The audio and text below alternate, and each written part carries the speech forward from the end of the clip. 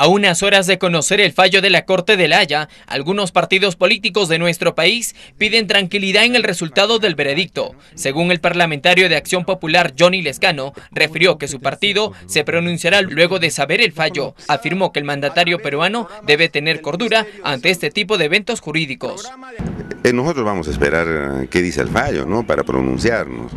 Entiendo que se han reunido con el presidente los principales líderes de los partidos políticos, les habrá explicado algunos detalles, no creo que sobre la sentencia, porque la sentencia al parecer no saben los dos países y lógicamente se esperará la sentencia para poder eh, pronunciar. Nosotros esperemos, esperamos que se pueda recuperar el mar del Perú, esa es la, es la pretensión, es la expectativa que nosotros tenemos. Y si no sucede eso es porque se le ha desconocido sus derechos legítimos de soberanía ah, al Perú. Sobre algunas propuestas de embanderar las casas este lunes, consideró que es una mala idea hacerlo, ante la posibilidad de que el fallo emitido por el máximo tribunal internacional sea desfavorable para los millones de peruanos.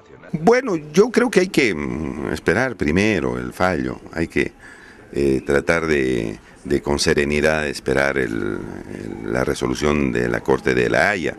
Eh, embanderar está bien como un gesto, pero puede tomarse como una especie de triunfalismo y, eso no queremos.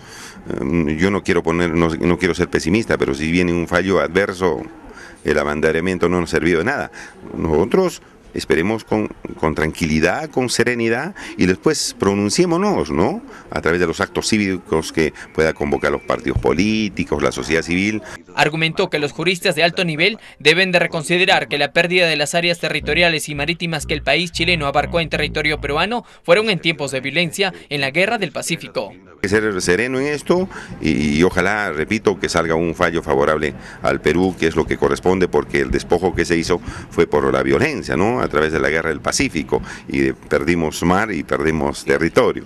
De manera tal que ojalá que esto sea valorado por el tribunal oportunamente, por la Corte, y pueda resolverse y reconocerse los derechos de los peruanos. Por su parte, Lescano sostuvo que él esperará con la mayor tranquilidad del caso el resultado de la Corte de la Haya.